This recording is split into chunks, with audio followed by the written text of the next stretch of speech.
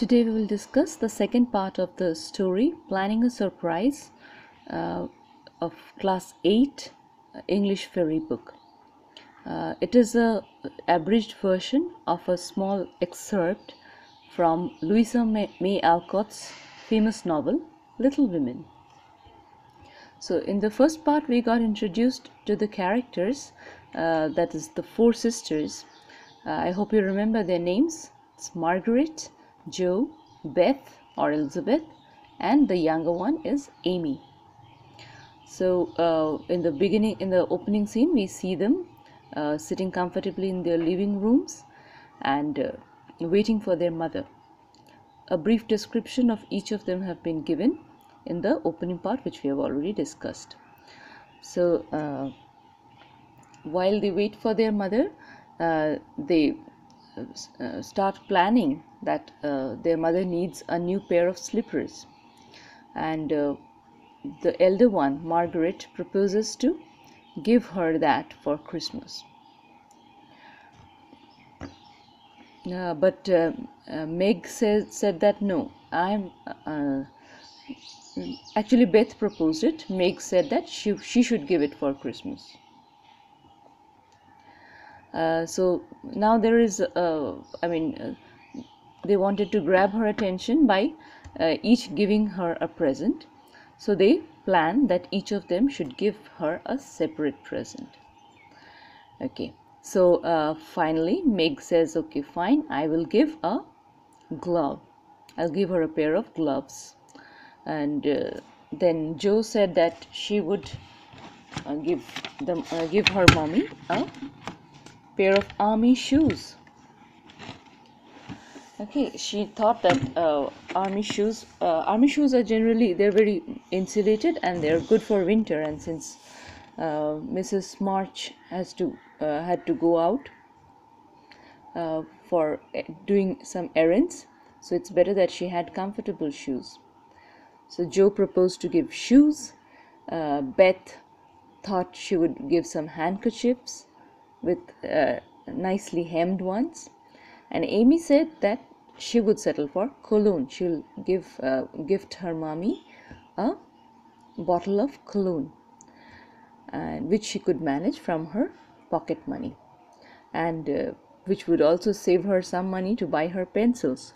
So from this we know that amy is a very small girl. She's still uh, starting uh, to write her letters that means she's she's still uh, working on with pencils.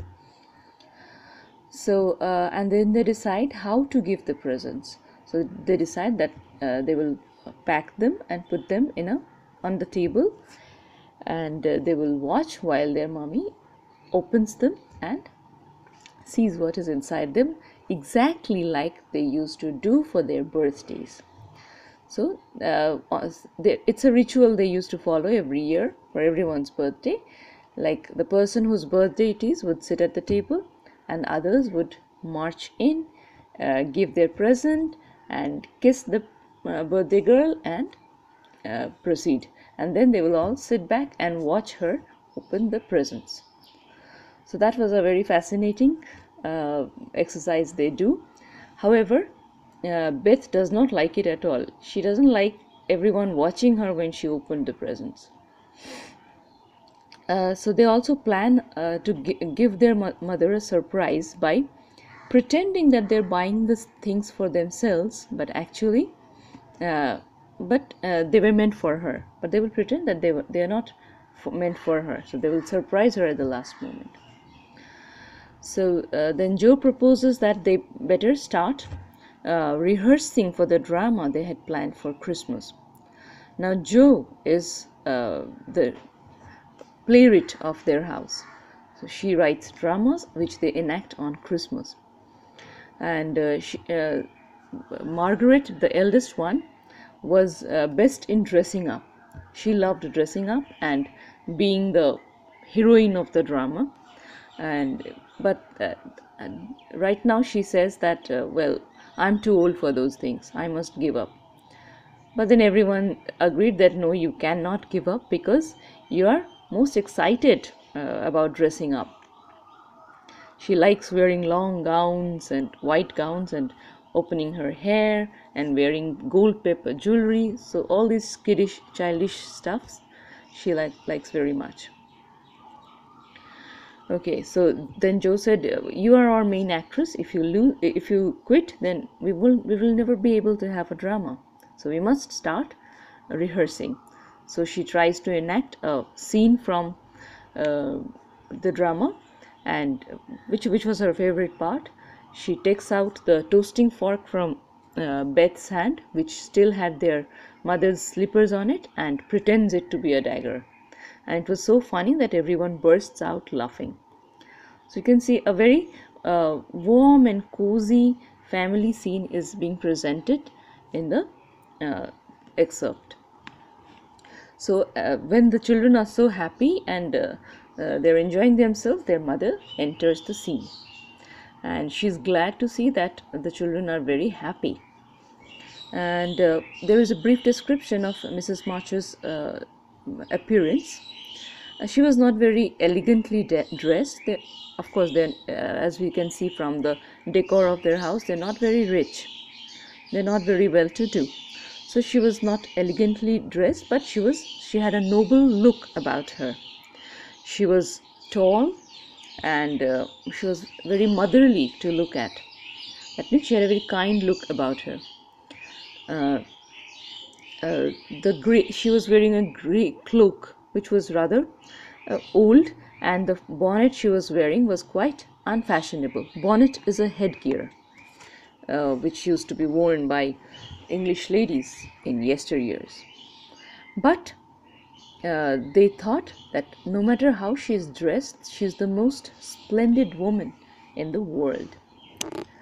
So their mother addresses them affectionately and uh, she tells them that there is so much to do uh, because they are preparing some boxes uh, to get ready to be sent to their father. Uh, so she didn't she couldn't come for dinner. So she asks beth and meg whether anyone uh, asked for her anyone came looking for her. And then she calls them all uh, to come to her and give her a kiss. She made these inquiries uh, while, while she was making these inquiries the uh, her daughters were uh, working hard to make her feel comfortable. Uh, so she got her warm slippers she sat down on the easy chair and amy the younger one youngest one came near her because she loved to be near her mommy. So and the uh, rest of the girls they went about the room uh, making all the arrangements for the tea and making Miss Mrs. March feel very comfortable. Hmm. Beth, the busiest of all, was going to and uh, fro the kitchen, par- kitchen and the parlor to make arrangements for the tea. Whereas Amy, she's being the smallest one, she doesn't uh, do much, she just kept near her mother. So, uh, amidst all these preparations, Mrs. March announces that she has got an, uh, a surprise for them, uh, which she will in, uh, disclose after supper. Now, the girls start taking their guesses at uh, what is the what the surprise may be. Uh, so Jo was the first to guess it correctly. She said it must be a letter from their father. These girls are missing their father a lot.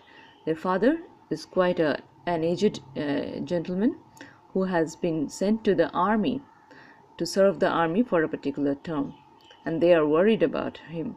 And uh, they are eager to know his tidings. That's any news from them from him. So their mommy says yes she's got a letter from their father and it's a very long one.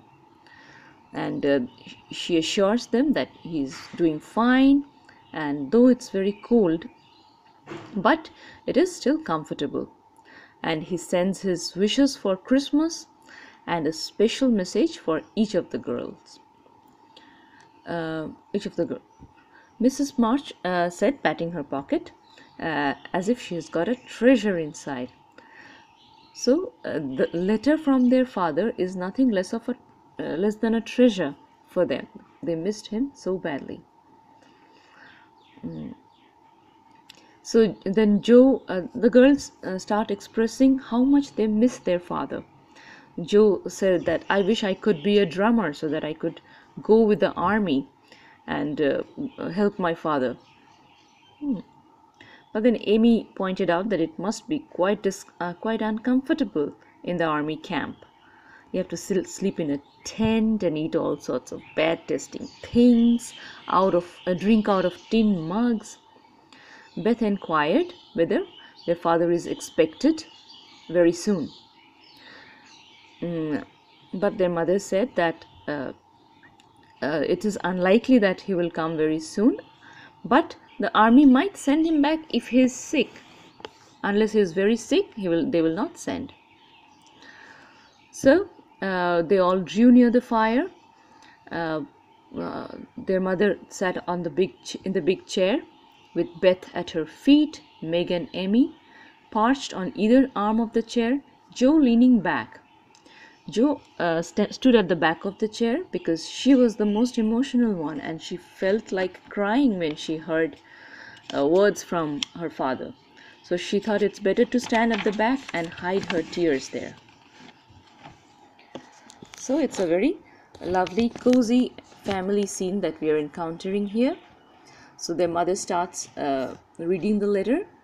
Uh, the letter contains the descriptions of the army camp and uh, but their father gave a cheerful description of the camp that the life was pretty lively at the army uh, with the marches and military news. And he also expressed how much he misses his daughters. He uh, gives sends them his love and uh, then he tells gives them a very important message saying that uh, that he prays for them every day and night. And he feels very uh, comfortable when he thinks how much they love him.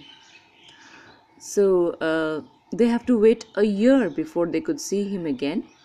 But uh, he reminded them that while uh, they waited they must uh, put their best in the work they are doing and they should not waste a single moment.